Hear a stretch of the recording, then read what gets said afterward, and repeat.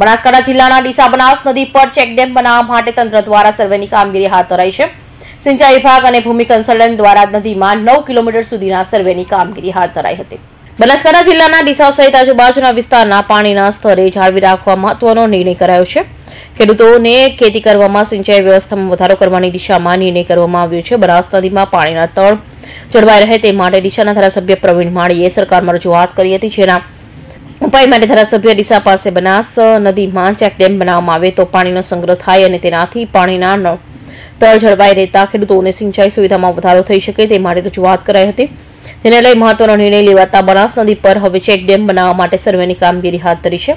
સિંચાઈ વિભાગ અને ભૂમિ કન્સલ્ટિંગ નામની એજન્સીને સંયુક્ત ટીમ બનાસ નદી પર પહોંચી સર્વેની કામગીરી શરૂ કરી છે. આ ટીમ આગામી આઠથી દસ દિવસ સુધી બનાસ નદીમાં નવ કિલોમીટર સુધીના વિસ્તારમાં સર્વે કરશે. જેમાં બનાસ નદીના બંને કાંઠાનો વિસ્તાર સોઇલ ટેસ્ટિંગ સહિત અલગ અલગ બાબતોની તપાસ કરવામાં આવશે અને સર્વે કાર્ય બાદ તેનો રિપોર્ટ સરકારમાં રજૂ કરાશે. ત્યારબાદ આ રિપોર્ટને આધારે ચેકડેમ બનાવવા માટેની પ્રક્રિયા હાથ ધરાશે. નમસ્તે મિત્રો.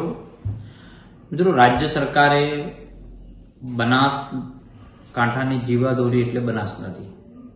જેના નામ ઉપરથી જિલ્લાનું નામ પડ્યું છે. એવી બનાસ નદીનો પટ એ ચાલીસ કિલોમીટરથી વધારેનો છે. અને એટલા ભાગની અંદર સ્વયંભૂ રિચાર્જ ઝોન પણ ખૂબ સારો છે.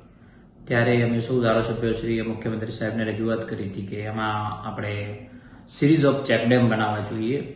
એના જ ભાગ રૂપે મને મુખ્યમંત્રીશ્રીએ સર્વે કરાવવા માટે અને સિંચાઈ મંત્રીશ્રીએ સર્વે કરાવવા માટે કન્સલ્ટન્ટની નિમણૂક કરી છે. એની તમામ સંભાવનાઓ તપાસ કરી.